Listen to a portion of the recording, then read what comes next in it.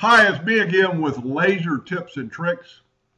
And this was a really neat file that somebody posted on Facebook and it comes out really good. And I've started giving it at funerals in lieu of this amazing grace. Well, I still do it too, but um, this file is posted on Facebook page. If you have trouble uh, finding it, uh, let me know. It's Epilog fan page. But this is two different versions of engraving. The face needs to be run at 400 dots per inch at 70 speed. And then I've added names to the for memorial, and they're run at 600 dots per inch at 50 speed, so it'll go real deep.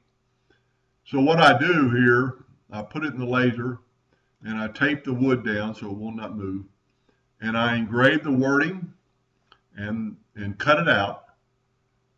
I use a, a piece of blue tape to grab it out of the fixture so it won't move the fixture.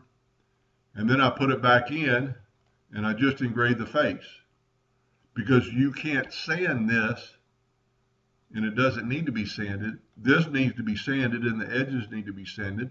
So if you take it off and, and sand the, or take it out and sand the bottom and get the flashback done.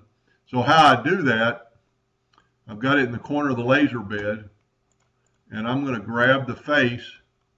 Let's see if we don't have it grouped together. I grab the face and let's see what my nudge factor is. It's set on five inches. And I, well, we can do this. Grab the face and move it out of the way five inches. Grab the cross back and put it back up.